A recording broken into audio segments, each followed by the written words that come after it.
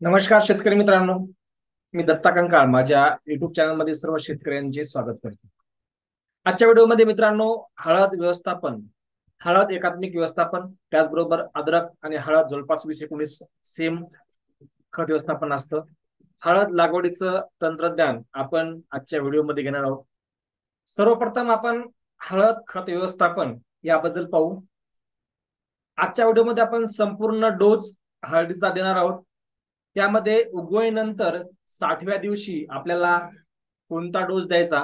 त्याचबरोबर उगवणीनंतर ऐंशीव्या दिवशी कुठला डोस द्यायचा? आणि उगवणीनंतर शंभरव्या दिवशी आपला हा तिसरा डोस देणार आहोत आपण. हळद लागवडीपासून आपण जर हा डोस व्यवस्थित दिला तर वॉटर सोल्युबल खतांचा खर्च नक्कीच आपण टाळू शकतो. कारण हा डोस परिपूर्ण डोस आहे. याच्या पलीकड डोस देण्याची गरज मला तरी वाटतं की हळदीला नाहीये. त्यामुळे वॉटर सोलू बरोबर येणारा अतिरिक्त खर्च प्रत्येक शेतकऱ्याने थांबवायला पाहिजे. आणि नाहीतरी वॉटर सोलुबल खतं हे खूप महाग झालेली आहेत.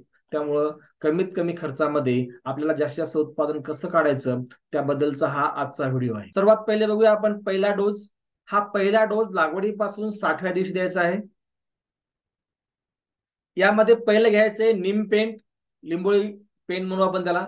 चाळीस किलो घ्यायचे कोरोमंडल कंपनीचं खूप चांगलं आहे ते घेऊ शकता तुम्ही.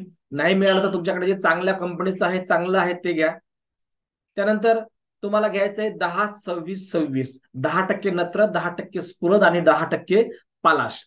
यामध्ये आपल्याला तिन्ही एनपीके च प्रमाण दिलेलं आहे आणि पन्नास किलो घ्यायचे आणि ज्या शेतकऱ्यांची जमीन हलकी आहे ज्या शेतकऱ्याच्या जमिनीमध्ये नत्राचं प्रमाण कमी आहे अशा शेतकऱ्यांनी सोबत पंचवीस किलो युरिया घ्यायचा आहे.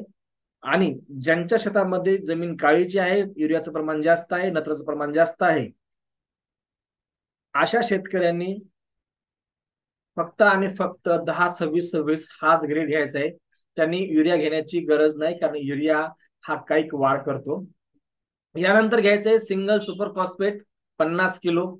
आणि याच्यासोबत घ्यायचंय वेस्टेज कंपनीचं ह्युमिक ग्रॅन्युअल. हे दहा किलो घ्यायचंय हे का घ्यायचंय? कारण आपल्याला ह्या सगळ्या खताला जिरवण्यासाठी जीवाणूची गरज असते आणि जीवाणूचं अन्न हे ह्युमिक ग्रॅन्युअल आहे. सेंद्रिय कर्ब वाढतो जमिनीत भुसभुजीतपणा राहतो पांढऱ्या मुळ्यांची वाढ वाढते. त्याचबरोबर जीवाणूंची संख्या वाढतं जीवाणूचं हे खाद्य आहे. कारण सेंद्रिय कर्ब वाढला तर जीवाणूची संख्या वाढते. त्यामुळं ह्युमिक ग्रॅन्युअल सेंद्रिय कर्ब वाढण्यास मदत करते. त्यामुळे आपल्याला वेशेज कंपनीचं ह्युमिक ग्रॅन्युअल सोबत घ्यायचं आहे. त्यानंतर दुसरा डोस हळद लागवडीपासून ऐंशीव्या दिवशी आपल्याला दुसरा डोस घ्यायचा आहे. त्यामध्ये घ्यायचं आहे काला किट अॅग्रिकॉन कंपनीची काला किट घ्यायची. सूक्ष्म अन्नद्रव्य आहेत. त्याच्यामध्ये जवळपास आपल्या पिकाला लागणारे सूक्ष्म अन्नद्रव्य सर्वच आहेत. पंचवीस किलो मध्ये पॅकिंग आहे. ही तुम्हाला काला किट घ्यायची आहे. दुसरी कुठली किट घेत बसू नका आणि पैसे वाया घालू नका. त्यानंतर घ्यायचंय वीस वीस झिरो तेरा. यामध्ये वीस टक्के नत्र वीस टक्के स्फुरत.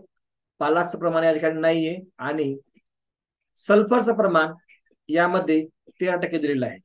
आणि हे आपल्याला पन्नास किलो प्रति एकरी घ्यायचं आहे. त्याचबरोबर शेवटचं आपल्याला ह्युमिक ग्रॅन्युअल हे सुद्धा घ्यायचं आहे दहा किलो. त्यानंतर लागवडीपासून शंभरव्या दिवशी आपल्याला तिसरा डोस द्यायचा आहे. त्यामध्ये घ्यायचं आहे कोसावेट कंपनीचं सल्फर फर्टीज नावानं मिळतं. सोबत घ्यायचंय मिरिटॉप पोटॅश पोटॅशचं प्रमाण या ठिकाणी भरपूर आहे. आणि पोटॅश हे हळूहळू लागू होतं. मिरिटॉप पोटॅश पन्नास किलोच्या बॅगमध्ये आपल्याला घ्यायचं आहे. त्यानंतर डीएपी घ्यायची पन्नास किलो. आणि ह्युमिक ग्रॅन्युअल घ्यायचं आहे दहा किलो. या पद्धतीनं आपल्याला हा तिसरा डोस द्यायचा आहे.